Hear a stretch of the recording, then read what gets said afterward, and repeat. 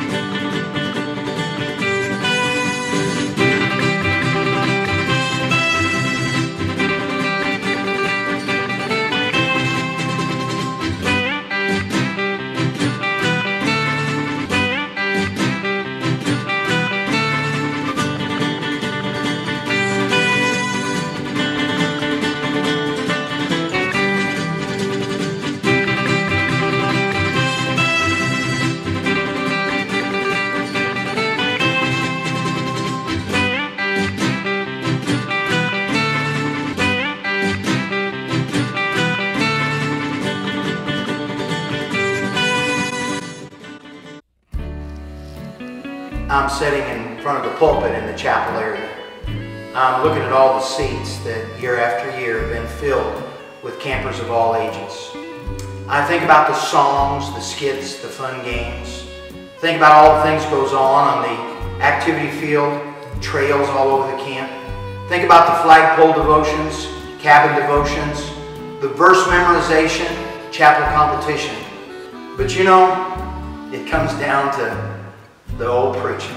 That's what it's all about. We can have all kinds of games and thank God for the property we have, but it comes down to what the Holy Spirit does in the heart of every camp. I love camp. I believe in camp. I hunger for each week and each camp activity to happen, but my hunger is that God will work in the hearts of all the campers He sends us. We're working hard to make 2018 the best year ever.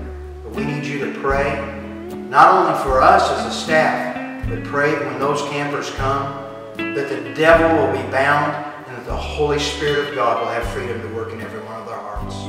I ask you to pray for us as a staff. I ask you to pray for the campers.